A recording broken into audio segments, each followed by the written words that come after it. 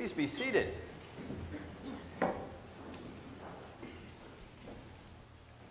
So I'm a child of the 80s. Uh, I'm sure many of you are thinking I look older than that, but uh, really, I, you know, I came in uh, in the 80s and I was one of those kids that, uh, that was exposed to a lot of movies that had the Soviets as the bad guys, like Red Dawn. And I remember the heroes were defending America against, uh, against all of that red fear. Uh, and Rocky IV, where the, the enemy was this indomitable uh, Russian fighter. And when we played uh, in the backyard and we made tree forts, the enemy that we were always fighting against was always the Soviets. that was the way it had been set up for us.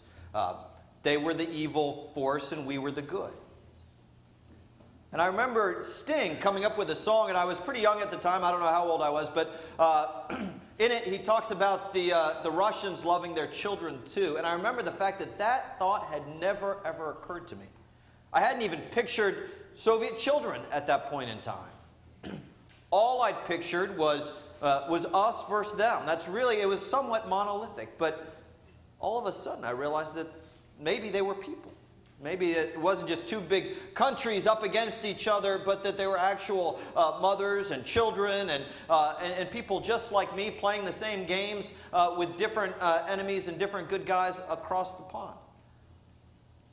It's like that in a lot of different things. Whether or not it's our enemy or whether it's not just somebody who's different and far away, we can become blind or we can prejudice ourselves uh, to the other as we uh, watch uh, what's going on half a world away, or as we don't watch, uh, I was struck by how distant what's taking place in Syria can, uh, can seem. As I was watching a, a video, uh, the newsreel caught a video of uh, Syrian refugees landing in Greece, and it was at the, in the black of night.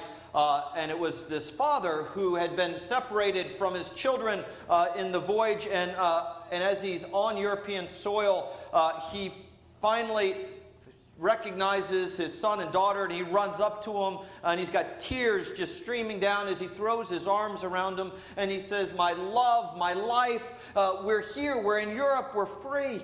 And, I, and he goes to his son and he wraps his arms around him, and you see the love of a parent for a child uh, and, and all of the hopes that you have for your child wrapped up. And all of a sudden, it wasn't half the world away, it was inside my household with what I feel for my children. Uh, and I think that the more often we set up us versus them, the more often we forget that. Uh, and the most profound thing is that I think it can happen to anybody even Jesus. I think our faith demands that we wrestle with this story, that we come to some sort of account of the story that we hear today. It is one of the most powerful and surprising stories in all of Scripture. It somewhat violates the ideas we like to have of Jesus. Jesus doesn't respond like that beautiful stained glass window holding the, uh, the, the, little uh, the baby sheep. Jesus responds with a stinging insult. But let's go back to the story. So remember a few weeks ago or several weeks ago, Jesus is trying to escape the madness.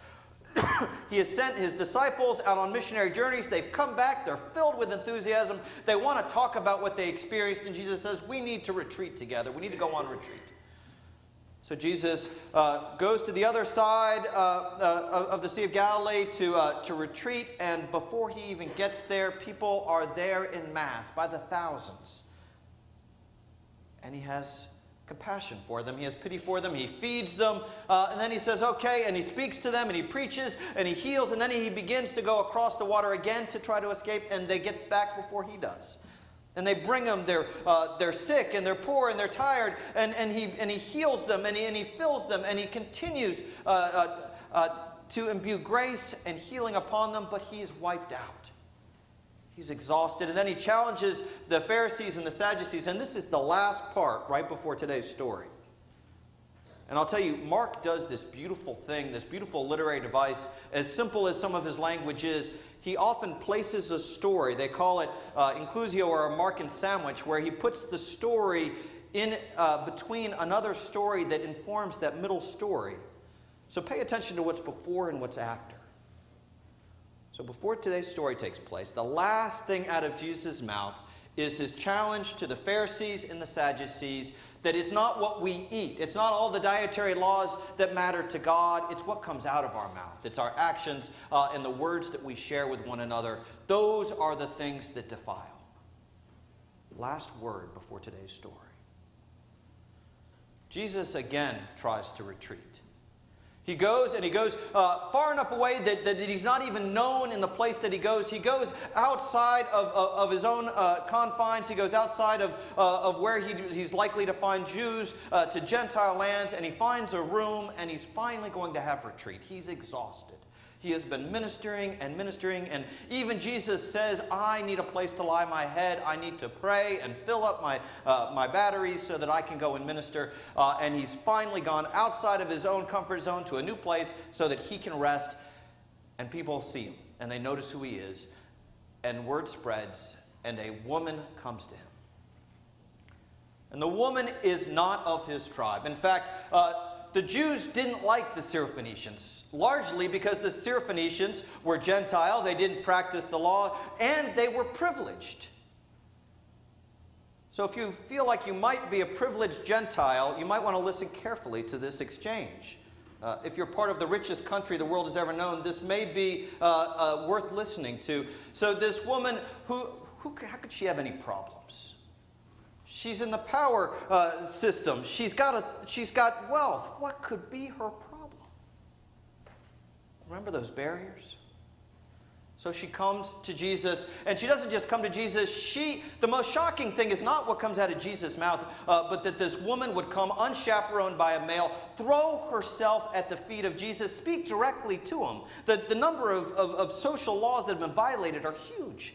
But she throws herself at Jesus' feet She's on all fours at the feet of Jesus, and instead of Jesus, the, the beautiful uh, cherubim face uh, holding the sheep, saying, My child, what can I do to make you well? He says, Is it fair for me to take what's for the children of Israel and give it to the dogs? Now remember, dogs aren't cute pets in this time. Uh, dogs are scavengers that carry disease. That's, I mean, that's a reviled word to call somebody, it's nasty. Jesus is human. Jesus is exhausted. And Jesus is a product of 30 years in his own town. One of the beautiful things about the incarnation is that God indeed became flesh and bore all of what it is to be human, to be blind, to be wrong. And this desperate mother says to Jesus, looks Jesus in the eye and says, but don't even the dogs get the scraps under the table? Isn't there anything left for my daughter? Isn't there anything? And that's when Jesus is broken open. He's opened up. And Jesus says, Your faith has made your, your daughter well. Go home and you'll find her well. And Jesus' understanding of the expanse of God's love of where God sent him to go is expanded and broken open. All the way across the globe, all the way across 2,000 years to us sitting in the pews today. It's broken open. And if we want to be assured that in fact it was broken open, the beautiful next story that doesn't seem to fit with the previous story is about Jesus opening. Jesus continues his journey back uh, towards more, more, more, Jewish confines, and he uh, uh, is at Decapolis, and uh, a man who uh, uh, has no ability to speak and is deaf comes to him, was brought to him, and in an incarnational, incarnational way, Jesus puts his fingers in the man's ears.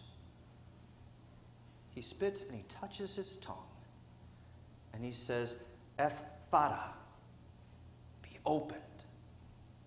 Be opened. And it informs that story in the middle. It's what comes out of our mouth that defiles. Then the story. And then Jesus' words be opened. So, wherever you are in life, whatever your bias, whatever place that you can't see, God calls us to be opened. As James uh, invites us to make sure that we care for the poor and see the poor in the same way that we see the rich, Jesus' story reminds us that we can be every bit as biased towards those whose lives looks perfect, who seem to have more than us and more than they need. That God's love is for everybody and that the needs spread broadly. So, wherever your bias is, wherever you can't see past, and it's not just a matter of having compassion.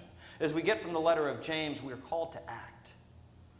That our faith calls us to figure out where we need to be opened, and then to go, and to work, and to love, and to expand God's vision, to open it up to new places. Amen.